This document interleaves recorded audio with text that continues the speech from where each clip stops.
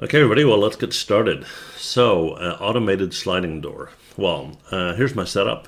Simple floor plane there. I got a wall, I got a second wall, I got a door in the middle right there that can slide up and down like so. And then I have an object that's going to go through the door. And we're going to call that thing a robot, just for fun, right?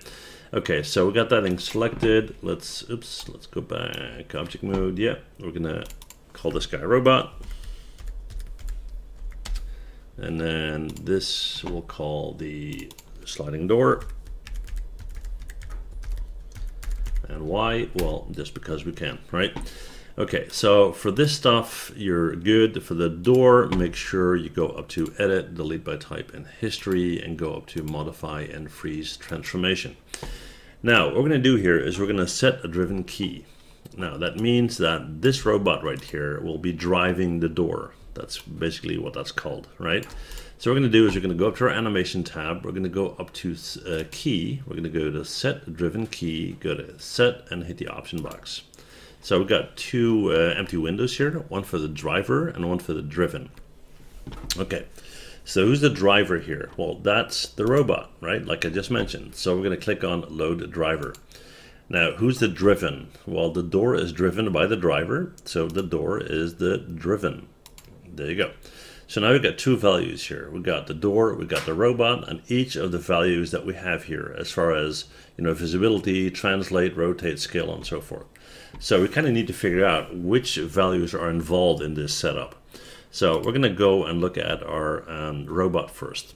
Well, we want this guy to move that way. And as you can see in the top right corner, that is a translate in Z, okay?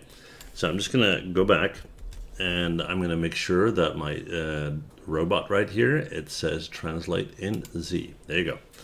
Now the door is going to move that way, which is X. So we're going to go back and we're going to translate X. There you go. We're not going to move anything just yet, right? So with everything set up the way it is, what we're going to do is we're going to just um, set a key down here in the position that we are right now. Okay, so we're going to go in here and we're going to go and click on set key. Now as we do that, you see that up here, the Translate X now has a little blue marker, right? Now the Translate X is for the sliding door. And here, this guy, right, we are going to set that key as well. And we are now set to move on. So we're going to move this guy forward until we're in the door, basically. We're going to take our door, we're going to move that over here and with the door selected, we're going to get a set key. We're going to select this guy, set key. Then I'm going to move forward.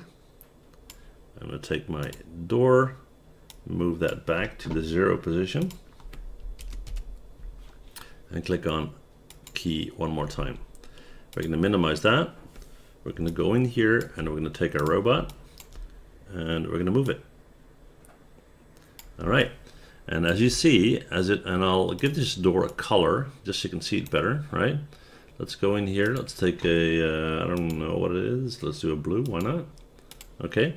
So that's our door setup. We're going to take this guy, and as I move forward, look what happens. The door opens, the robot goes through, and the door comes back. Almost hitting it in his ass, but, you know, there you go.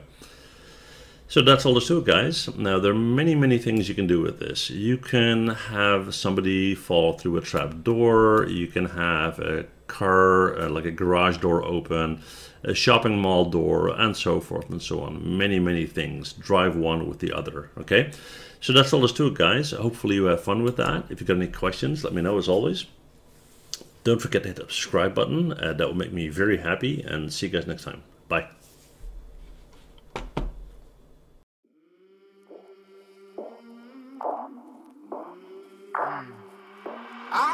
From the